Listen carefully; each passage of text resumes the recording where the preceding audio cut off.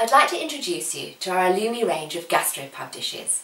We wanted to launch a selection of meals that make you feel like you've just sat down in your local pub and you've looked at the blackboard and see that it serves your all-time favourites and it's just too hard to choose. How good would that be?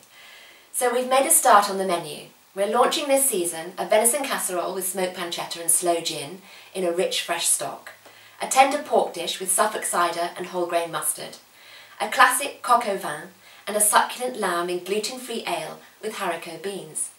And these of course all complement our existing range where we have our pork with mushrooms and Madeira and our delicious slow cooked casseroles of lamb, chicken and beef.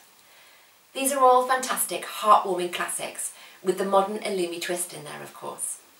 We hope we've started to deliver that favourite blackboard menu for you.